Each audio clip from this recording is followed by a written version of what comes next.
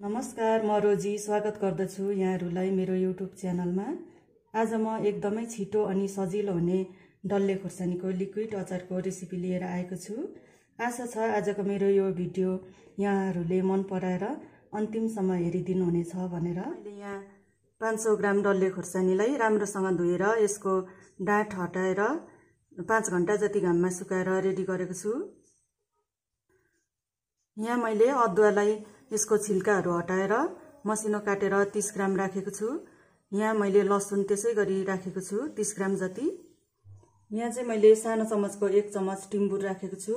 यहाँ सानो चम्मचको एक चम्मच सोप। यहाँ सानो चम्मचको एक चम्मच जिरा। यहाँ सानो चम्मचको आधा चम्मच मेथी राखेको छु। चाहिँ म यो खुर्सानीलाई मिक्सीमा पिस्ने छु अनि यो अदुवा र लसुनलाई पनि पिस्ने छु। त्यसपछि चाहिँ यो मसलालाई पनि अलिअलि भुटेर पिस्नेछु। मैले अघिको सबै खोर्सानीलाई ठुलो चम्मचको छ चम्मच भिनिगर राखेर मिक्सीमा पिसिसकेको छु। यो अदुवा र लसुनलाई पनि ठुलो चम्मचको एक चम्मच भिनिगर राखेर पिसिसकेको छु। पानी चाहिँ राख्नु हुँदैन पिस्दाखेरि। पानीको बदलामा चाहिँ भिनिगर या निम्बुको रस नै राख्नुपर्छ। अनि अघिको मसलालाई पनि भुटेर यहाँ पिसिसकेको छु। यसमा चाहिँ मैले पानी भिनिगर केही एड नगरिकन पिसेको हो। अचार पकाउनुको लागि चाहिँ मैले यहाँ ठुलो चम्मचको छ चम्मच तोरीको तेल राखेको छु। अरूभन्दा चाहिँ तोरीको तेल नै राम्रो हुन्छ।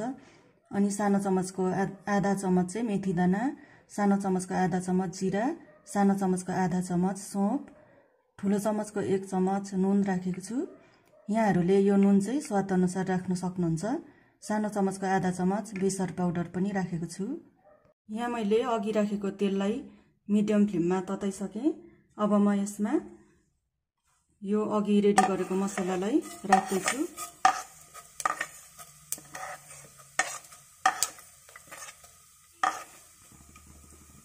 यसलाई एकछिन चलाउँदै फ्राई गर्दैछु।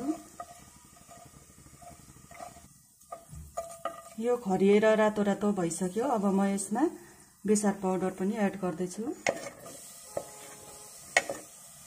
यसलाई पनि चलाउँदैछु। त्यसपछि चाहिँ म यो अदुवा र लसुनको पेस्टलाई पनि राख्दैछु।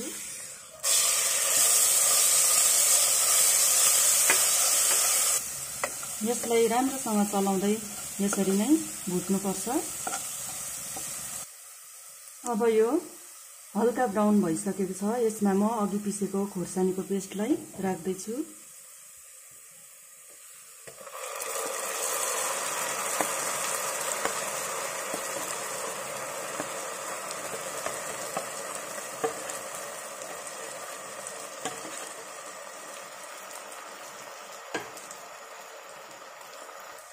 अनि नुनलाई पनि राख्दैछु।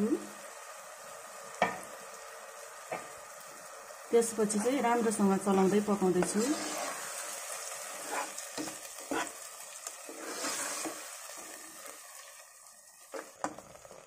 यो अचार बनाउँदा चाहिँ यो अचारमा चाहिने सामानहरू अनि चलाउने सामानहरू केहीमा पनि पानी चाहिँ एक थोपा पनि हुनुहुँदैन। नभए चाहिँ अचार बिग्रिन्छ। गर एड गरेर चलाउँदै पकाएको पनि दुई तिन मिनट भयो। अब चाहिँ यो रेडी भइसकेको छ। यसलाई म सेलाउनुको लागि राख्दैछु यत्तिकै खुल्ला। अचार बिस्तारै सेलाउँदैछ। यो अचारमा मैले चाहिँ भिनिगरलाई युज गरेको छु। यहाँहरूले भिनिगरको सट्टामा चाहिँ निम्बुको रस पनि युज गर्नु सक्नुहुन्छ। यो अचार लामो समयसम्म राख्नुको लागि चाहिँ प्लास्टिकको भन्दा काँचको बोतल नै राम्रो हुन्छ। अनि यो अचार निकाल्दा चाहिँ हरेक पटक चमच सफा र सुक्खा हुनुपर्छ नत्र अचार छिट्टै बिग्रिने डर हुन्छ। यो अचार राम्रोसँग सेलाइसकेपछि चाहिँ काँचको बोतलमा भरेर यहाँहरूले एक दुई सालसम्म पनि राखेर खान सक्नुहुन्छ। यहाँहरूलाई मेरो आजको भिडियो कस्तो लाग्यो यदि मन पर्यो भने लाइक सेयर सब्सक्राइब गर्नु नभुल्नुहोला फेरि अर्को नयाँ भिडियो लिएर छिट्टै नै आउनेछु। तबसम्मको लागि